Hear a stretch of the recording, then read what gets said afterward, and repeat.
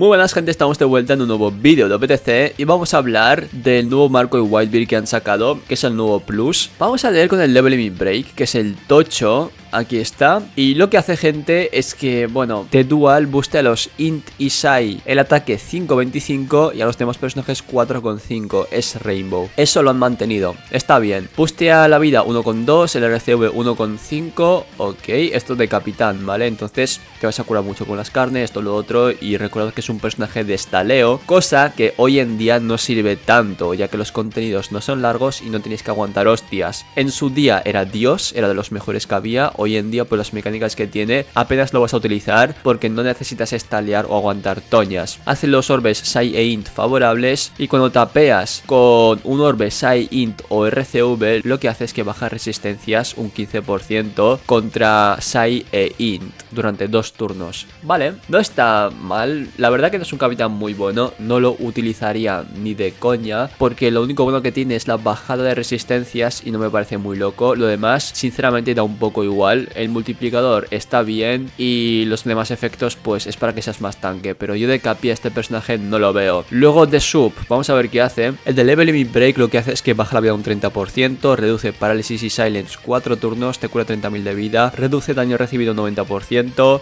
a los Sai e Int, el ataque base más 1500 por dos turnos y cambia los orbes los block a Sai Int o RCV.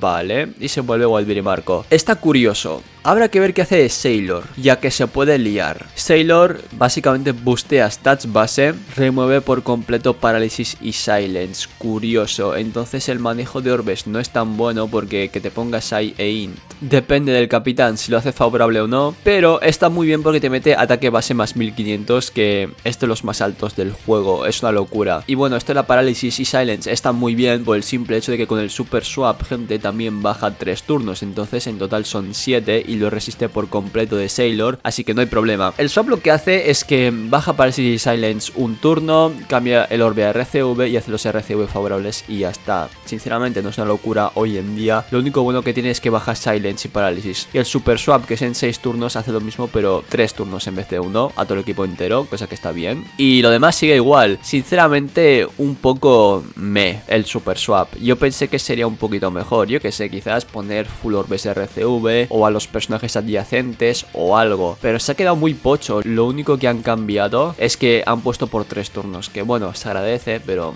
sin más. Tema PvE. Este personaje es normalito. Está bien, sobre todo por el especial que tiene. Que esto sí que ha mejorado bastante. Pero bueno, lo que pasa es que tienes que meterle como 9 dupes. Y de base, pues tampoco es una locura. Está bien porque te sigue metiendo ataque base más 1250. Y es usable. Pero fijaos, aquí reduce dos turnos. Y aquí reduce 4, que es el doble. O sea que sin el level al 5 lo que vas a reducir de parálisis y special seal son básicamente 5 turnos, gente. Es normalito, puedo hacer cositas, pero si os soy sincero no es lo que me esperaba. Aunque no puedo estar descontento con esta celebración porque con G5 y con Kaido se han pasado, así que tampoco me voy a quejar de esto, pero sí que es verdad que es un poco de decepción como lo han hecho. Y vamos a verlo en PvP a ver qué tal y cómo lo han cambiado. Lo que hace gente es que busca los Striker y Powerhouse el ataque más 6, guardia más 6 y cuando tienes la vida por debajo del 60% se bustea defensa más 6. Y de especial les corta 35% de vida que es súper alto. Se targetea a sí mismo, se cura por 3 de RCV y targetea a los Striker y Powerhouse aliados y les reduce half stats durante 10 segundos. Vale,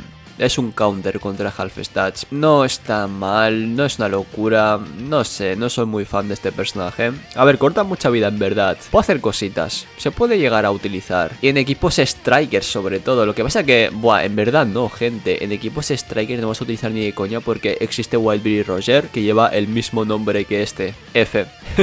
ya se ha quedado inútil. En los Powerhouse quizás, pero creo que hay mejores personajes que este. No sé, es normalito. En general, no es una locura. Es un personaje que no está mal, pero tampoco está bien. Por cierto, este es el arte que lo han cambiado. Este está mejor que el anterior, supongo. Es un poco parecido, así que tampoco puedes ver mucha diferencia. Así que nada más, gente, un poquito os quiero comentar. Tema del plus de Whitebeard y Marco. Deja mucho que desear, la verdad, tampoco es que sea malo, pero bueno, sin más. Espero que os haya servido, Daila, el vídeo, que tengáis un buen día y nos vemos en la próxima.